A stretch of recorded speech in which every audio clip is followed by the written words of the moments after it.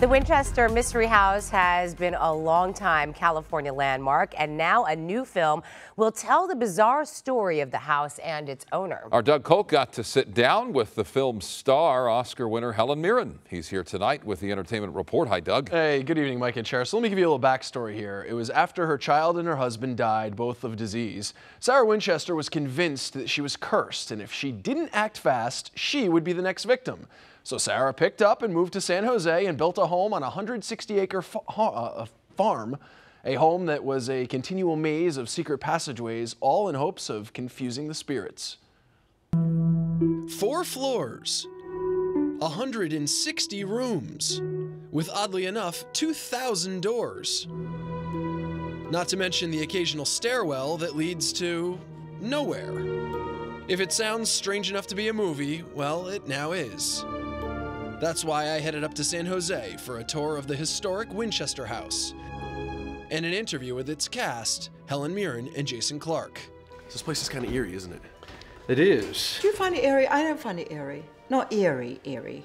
I find it just fascinating. Oh, you said weird. Eerie. Eerie he said weird? eerie. You said eerie or weird?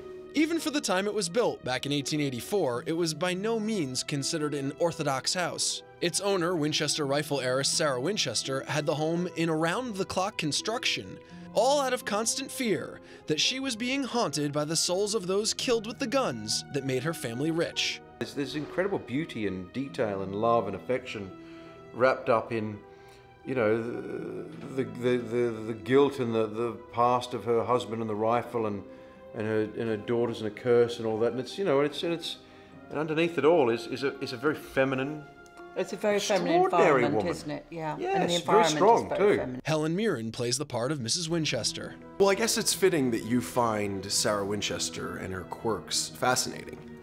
Yes, absolutely. I mean, what an amazing character that I knew nothing about. This is so personal, you know. Sarah Winchester designed that that uh, fireplace behind you. She chose those panels, those amazing two windows, um, stained glass windows there.